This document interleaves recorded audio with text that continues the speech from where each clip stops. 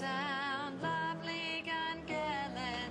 Our hearts are swelling, place of renown. Kate, you've met my daughter Bindi. Yeah. I've drafted her onto our committee. Oh, excellent. It's been a long time. Bindi, you've been away. Just guess I've been busy out at the farm. Oh, she's getting out more now, aren't you, darling? Actually, I thought that she could help you with your song. She she plays the piano and sings beautifully. Mum, I'm not singing. Anyway, it's Kate's song. Listen, I need all the help I can get. Can you play this for me?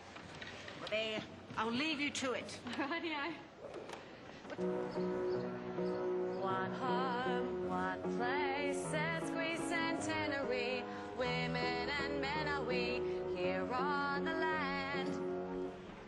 It's not good, is it? It's fantastic. I'm just saying that. Tell me to mind my own business, but I think maybe if we slow the tempo down a little bit. Okay, yeah, let's give it a go. one home, one place. You're right, that is so much better.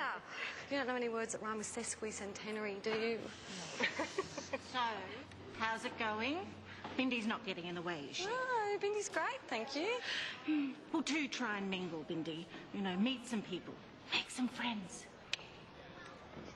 My mum. Oh, no, she's right. Actually, why don't we take a little break? Want a cup of tea? Love one.